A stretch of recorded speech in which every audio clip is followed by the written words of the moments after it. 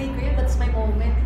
Siyempre, But do you still remember the song? when you were single. ano ba yung? Ah, ano yun, Li- listen, listen. Ay, Ang baba na. You want your voice to be heard, kaya sir. ka na napaiyak. So kung yung na mga artist, ano, may mga moment din talaga Yes. na naiintindihan na yung nangyari sa Apo. Ay, sobrang pa, sobrang. Kasi sabi ko Hindi na napanood ko nga siya, sabi ko parang ako to. Naalala ko ano sa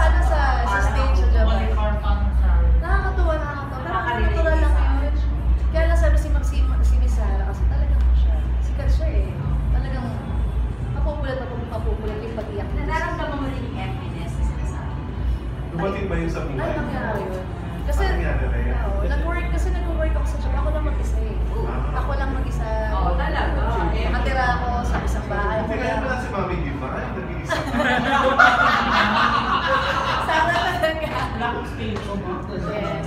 Talagang ano, all by myself sa Japan. ganun talaga. All by How do you adjust to that? Na that kind of feeling? Na Nag-iisa ka, as paggabi, hataw, Ano lang, ah, lalo na mga early years mo. Paano yun?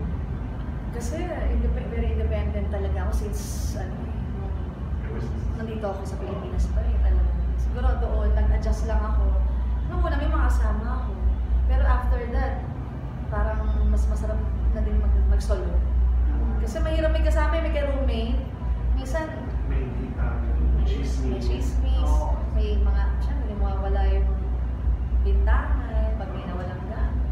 So, nag-decide ako na mag mag-solo. So, syempre, curious na natin, ba't sila sa lumahan ko? Mayaman na mayaman ka na Miss Malika. Mayaman sa Ano utang. lang network mo? Dahil album na pinag-uusapan natin. Sapat lang, sir. Sapat lang. Sapat lang talaga. Siguro yung mga naipon natin, yung word ko talaga sapat na. Tagalog na Tagalog. Sapat lang po. Kaya lang po, syempre, may mer meron tayong mga ibang mga uh, pinagkagastusan. Syempre, di sa outfit. Pero wala ka mga anak. Ako po, marami po. May totoo. Hindi, ano, aso. Marami na. May ako sa aso. I have, I have eight. Mahal nga yan. Mahal mo. I have eight.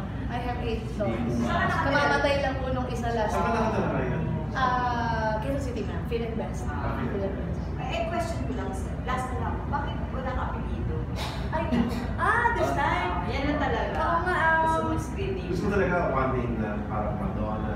Yes, ma'am. Kasi nung Marica Reyes, nung ginagamit ko po yung Riesgo. Ano rin, ano? Riesgo, ma'am. Marica, Riesgo. Apo, nung kay Sir Renny, Marica Riesgo po ako. Parang ano po eh, nagkakamali sila lagi, Marica Oo, Reyes. ang hirap Reyes. Ano Marica Reyes? Ganun ang inaano nila sa akin. So, So, sino nag-decide na sino yung surname? ah, yung aking bagong mga black market family. Ah, okay. Sabi niyo, ah, she should. Apo, Black Riesgo. market. So, yes. Ano yung agency? Ah, booking agency. Pangalan nila? Talent agency. Ah, so sila na parang manager talent. Ah, hindi naman po manager. Parang sila lang po talaga yung tumulong sa akin din matapos yung album ko. Consultant. Ako, yes. Sila po yung nag, nag, nag-suggest na tanggalin mo na yung Reyes ko. Kasi talagang lahat po ng tao na kahit before nagpa-press, uh, packet press po ako, Re- Marica Reyes, nung unang ano sa mga ano, Ah. Marica Reyes. So what's so special about Marika? Para Maricar? supportahan namin ang music mo. Yes, magandang question yan, sir. Um, Maricar. Siguro po yung music ko this time, ano old genre ako eh, sa may second album ko. Kasi before po, power ballad kay Sir Benny Saturno. Kasi more on, parang pala teleserye style ang mga kanta ni Sir Benny. Ngayon naman po, sabi ko, why why not na ipakita ko sa second album ko yung, yung character ko. Kasi parang akong chameleon eh. Okay. Pwede ako sagad pag kinanta ko yung rap, gawa ako Ah. rockista, pag kinanta ko yung mala. Celine Dion or whatsoever. Pwede. Standards. Flexible naman. So, sabi ko, Gusto mong i-showcase your versatility sa second album? yes, yes. So, nag-usap kayo ni Sir Composer kung ano yung mga kanta, paano yung Oo. Paano napili yung mga kanta? Ano yung sinabi? Ito, pasok sa ano ito. ito. Yes. Actually, ma'am, um, wala po kaming ganun na pag-usapan. Talagang nagkataon lang po yung mga kanta niya. Halos lahat na ng genre nandun. Ah. Kaya talagang Talagang nag-gel kayo tatlo. Yes, ako. Ilan songs na na-compose? Madami po siya. Ten songs po kasi po. Pero meron ka pa naka-reserve. Ano pala ka, sir? Composer ka talaga. Tsaka yung purpose din po ng second album, sabi ko, marami talagang mga composers na pwede natin ah mag magawa sila. Of course, Sir Bakit yung tapos binigyan mo ng chance? Oo, sabi ko, katulad ko rin, na nagsisimula, sabay-sabay na tayo magsimula. Bigyan natin ng chance na sila. Pero Yeah. Yung play guitar, no? Ako ba? Actually, sir, ano, hindi ako marunong gitara. ano lang, ano?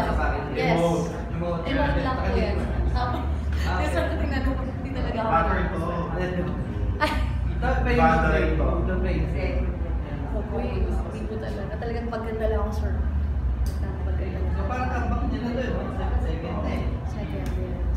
Kaya sabi ko, aalagaan ko na this time. Paano mo, ano, paano mo alagaan, paano mo i-promote, paano malalaman ng tao?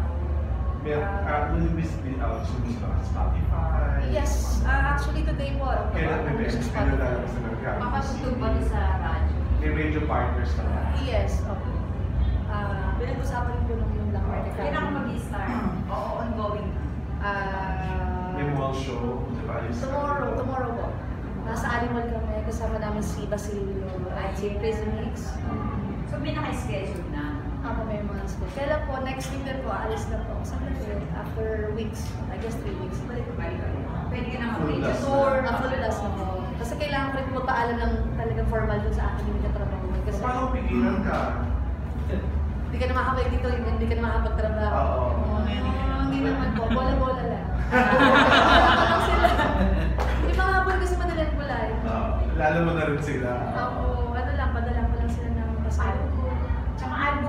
ano lang, padala